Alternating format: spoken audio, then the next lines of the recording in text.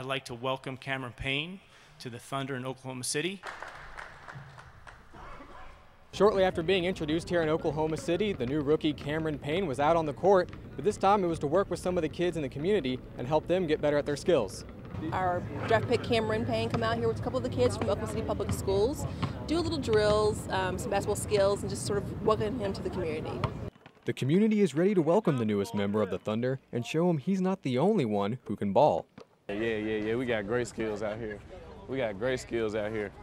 Although Payne is eager to get to work with his new team, he is starting out by taking notice of those who look up to him. Good work. That's some good work right there, y'all. That's some good work right there.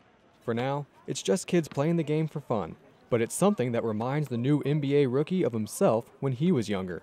That's how I was, shooting, trying to shoot as far as I can and making them. And uh, man, just always happy playing. I mean, it's, I'm having fun out here. Clarke Sachs, KOCO 5 Sports.